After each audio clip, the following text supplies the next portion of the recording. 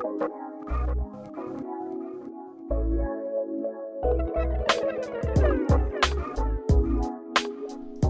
guys and welcome or welcome back to my channel. My name is Amanda and I am a doctor that works in the UK. I'm a mom, I'm a wife and on this channel it's a bit eclectic, it's all about me. So I share a lot of medical advice on my Monday videos so please check them out if you haven't already. But then on these Friday videos they're a bit more relaxed I do vlogs, I share my life insights, some um, lessons that I've learned, and also just some things that go in my mind that I think I might want to share with the internet out there.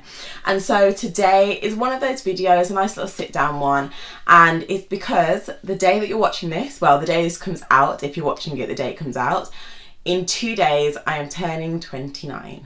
Yep, I'm turning 29. That's my last year of my 20s. And um, I'm usually the youngest. Well, I actually think about most of my friend groups. I'm the youngest out of the majority of my friends. And it means that most people have already gone before me. They're in their 30s. And I know that there's a lot of anxiety and worry that goes along with getting into your 30s, you know, finishing your 20s. But I've got to be honest, I'm really excited. I've heard great things about your 30s. I heard that you have better boundaries and you care less about what people think and all these wonderful things. And so I'm excited to um, get into that journey. I've had a great 20s. Um, I feel like I've done a lot. I feel like I've travelled. There's still loads more places in the world that I want to see, but I've travelled, I've gotten married, I've completed my degree, I've become a GP, I've become a mother, I've bought a house, I've, you know, I've done things. Um, and so my 20s feel great. Um, but I'm excited for the next chapter. But what I thought I would do, and I've seen a lot of people doing this, this bucket list of 30 things they want to do before they're 30. Now I think most people make this list like when they're 21 or 25 or, you know, somewhere in their 20s, but I decided to give myself one year. And so the list is quite realistic, I hope. Um, and when I turn 30, I'll come back here and tell you what I've kind of gone up to. But there's 30 things. I've got my iPad here. So if I keep looking down, that's what I'm looking at because I'm not remembering 30 things off the top of my head. But I've tried to make some kind of order to it, but some of them are random. And so let's just get into it. Um, some of them might give a bit more information to them, others you know, they're self-explanatory, so let's go. Okay, let's start with work. I've got four things that I want to do for work um, before I turn 30. So the first is lifestyle medicine. I'm quite interested in lifestyle medicine, but I want to get more get further qualifications in it. I wanted to become more formally trained in lifestyle medicine and there's diploma that I'm planning to complete um, in the next year. So that's first one, get qualified in lifestyle medicine. Um, also my family planning qualifications that I can actually give certain types of contraception such as coils and implants. That's the thing that I want to do as well. And then other things that I just want to learn about. The third thing is improving my um, knowledge on like skin, so dermatology, and also joints and bones, so what we call musculoskeletal medicine, MSK. Um, and that's because I feel like I give out a lot of the same advice, but it's problems that I see day in, day out, and I feel like I could be doing a bit more. And then my fourth thing is that I want to learn more about the menstrual cycle. Now I've seen lots on the gram, um, social media, on the media, all over the place of people getting more interested in the menstrual cycle and what the different um, phases and stages mean for how productive we can be as women. And I think that's great advice to know for myself, but also sharing with my patients. And so that's the fourth thing I want to do for work. Now, number five um, and number six, these are more about social media. So number five is about what I want to do on this channel. And at the moment, we're just under 400 subscribers, which I think is pretty good and quite like overwhelming to think about. Um, and that's just been in the last five, six, yeah, the last five months that I've been on here. And so I'd love it if by the time I'm 30 I had 1,000 subscribers and 4,000 watched hours because once you get to that threshold, you can start to monetize your channel. And I think another stream of income is always a bonus. And number six is finding a bit more of what my social media niche is. Um, so we're all you know people that um, advise on how to like build a social media brand they talk a lot about finding what your niche is finding what you're talking about is. I feel like on my youtube channel i've kind of I'm developing that. I'm finding the areas that I'm interested in that I want to share with you and things that I can see what things, you know, you guys enjoy seeing.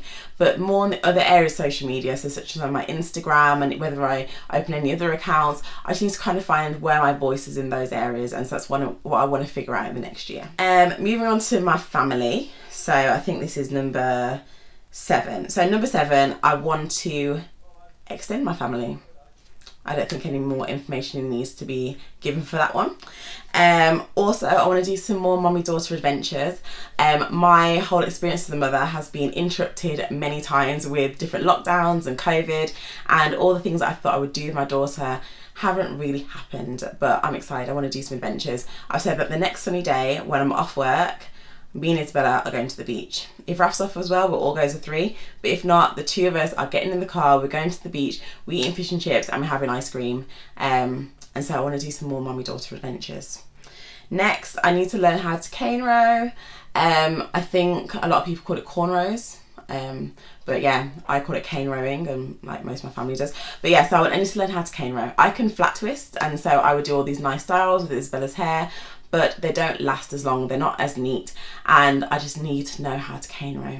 I feel embarrassed that I don't know how to cane row, but I didn't grow up with a sister, and I feel like a lot of people tell me they learn how to cane row on their sisters on there yeah and I didn't have one I had a brother and he cut his hair all the time so that is my aim I need to learn how to cane row anybody got any suggestions? I've watched so many YouTube videos, but it's like my hands just don't move the way they're supposed to. But I'm going to figure it out. Next is find a babysitter. Now, I think we may have one um, that we can use, but basically for our family, for our, my marriage, I need to have regular date nights with my husband, and that means I need to find a babysitter. So by the time I'm 30, I'm going to be sorting out my childcare so that me and my husband can have regular date nights even as parents. And the final thing for my family is exploring the UK more. Now, I love to travel. We're big travellers. I said that in my 20s, we travelled. You know, me and my husband have seen lots of places. I could sit here and list them off, but I just don't, you know, it's not that interesting. But um, COVID has kind of put a spanner in the works in terms of travel. Also, having a little one, there's long haul flights it's not really happening. And also if me and Raf are just going away we're not going to be going away for like two weeks at a time and leaving Isabella with whoever. So we need to kind of change the way that we travel. And that's why I want to explore the UK more. I'm discovering there's so many beautiful places and interesting places in the UK and I didn't really know about them because I kept catching flights rather than getting in my car and seeing what's about and so we went to the Lake District last year we're going to um where are we going Pembrokeshire this year in Wales and we like looked at Snowdonia as well. We went to Snowdonia the other day. I want to go down to Cornwall and just explore the UK. Now the next category I'm calling finances and the first thing I want to do is to get another two streams of income. So right now, um, me and my husband, we both got, you know, conventional careers, we're employed, and so we have those very reliable streams of income. We are starting to build some other avenues as well, um, but I think it's really important to like diversify your um, source of income, have different streams coming in. Um, so that's what I'm working towards, and I think in the next year, I'm hoping that we've got two more streams coming in. And so yeah, watch this space. And then the next thing is also to bulk up our emergency fund. Basically an emergency fund is where you have a stack of money that you don't touch apart from in emergencies. It's separate from any investing, it's separate from anything that you spend, you literally don't touch it. And it sits in a savings account that's there for you, really easily accessed.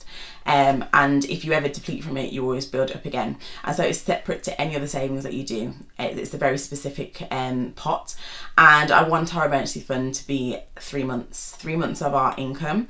Um, so that's what I'm working towards and I'd like to bulk that up um, by the time, by next year. Now next is about our home and I've never done any projects on our home. Um, I'd like to convert our garage and make it into a playroom. And I want to do that by the time I'm 30.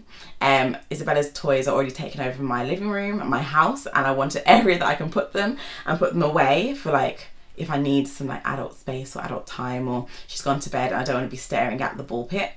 And so um, yeah, I want to convert the garage and I'm excited because I'm into renovation. There's so many plans that I have for this house. So many. So many. But the first one is the garage. And the next thing in terms of a home is that I want to learn how to garden. Now, our back garden at the moment is just a big old piece of lawn. Um, we've done nothing with it. This year we got a playset. I think I've shown I showed you in a previous vlog. And I also got a vegetable patch installed, which I still haven't even filled with soil, but I'm getting there. And I want to learn how to garden. I want to plant flowers and I want to plant vegetables and grow them. And yeah, so that's my next project and I want to do it with Izzy. She's a bit of a force of destruction at the moment, so I'm sure it'd just be mud everywhere and mess. I mean, might not actually grow anything in the next year, but I want to at least attempt it by next year. 18. So these next ones are all about my health. So improving my mental health. I've shared on my Instagram and a little bit on here that this last year has been very stressful and I've experienced burnout. Really, really struggled with it. Um, and it was starting to affect my sleep. I was feeling quite anxious. The way in which I was eating was changed and it was quite significant. And so I reached out to something called Practitioner Health, which is um, a healthcare which is a, a, place where doctors and dentists struggling with their mental health for whatever reason can access to get some more help and so i did that and um, that's I'm, I'm, working on the next year you know really building good mental health um, so actually when I'm recording this, tomorrow I'm doing my first session of cognitive behavioural therapy. I recommend therapy to my patients all the time, but I don't know much about it. I've never really done it myself, um, you know, conventionally like that. And so that's what I'm doing. I'm trying to um, actually live what I preach as well. I think doctors often are the worst patients, but I'm trying to be a good patient now. And so that's one thing to really improve my mental health. Next thing is to drink more water drink more water. There's nothing else to say. I need to do it. Third thing is my skin. Um, I've always struggled with skin problems, um, but recently, as I became more stressed, I became more dehydrated, and my skin has just been the worst it's been since I was a teenager, really, or my, my early 20s. And so I'm working to create a skincare routine um, so that I can look after this. I'm going to take some before and after pictures because basically my birthday list is just a whole load of skincare products and different things that I'm going to try and so um, I'm going to do some before and after pictures and hopefully in the next year there's a good transformation I can share with you what I did. Number four is to give blood. So I know the importance of giving blood, but some reason I haven't done it before. There's been many times when I've thought about it, where I said I'm going to do it and then something would happen, or there weren't um, appointments that that really like worked with my work schedule at the time but no more excuses. And on the 16th of June this year I am giving blood for the first time. Me and my husband will be and it's something I would encourage you all to do as well. And find some movement that I enjoy.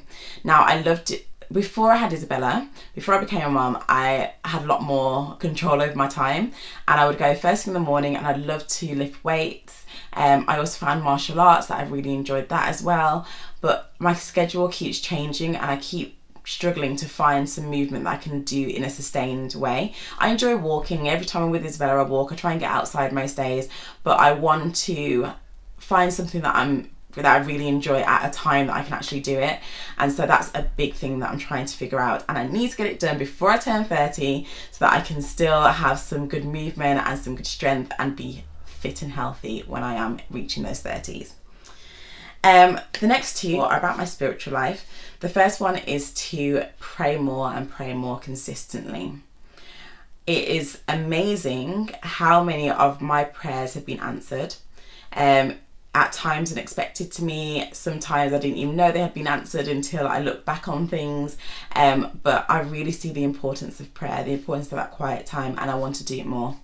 And so that's the first one and the second one is also about spending more time with God and that is um, making sure that I have really protected devotional time um, before Isabella it was easier to find that. I you know I'd have time in the morning and then she's then I had Isabella and then I was able to do you know while she was like newborn lying on me and in those times um, and be able to do it in the daytime a bit more flexibly. And then she went through a spell where she wasn't sleeping well. So she was getting up very early in the morning, um, waking up several times in the night. And then in the daytime, I wasn't able to have that quiet time because she was so active.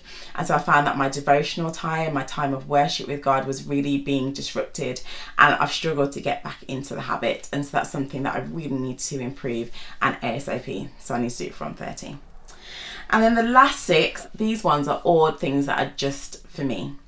Um, I didn't really know what category to put them in, so they're a bit random, but here they are. So learn to say yes and no more. I'm very bad at saying yes and saying no.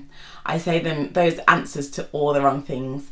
I found myself saying no to things that nourish me. So when I'm running out of time, I'd take things off the plate that actually nourish me, and find myself saying yes to things that deplete from me or yes to everyone else's desire for my time rather than um, you know rather than doing what I want to do. And so I'm really trying to say yes and no more in the right ways.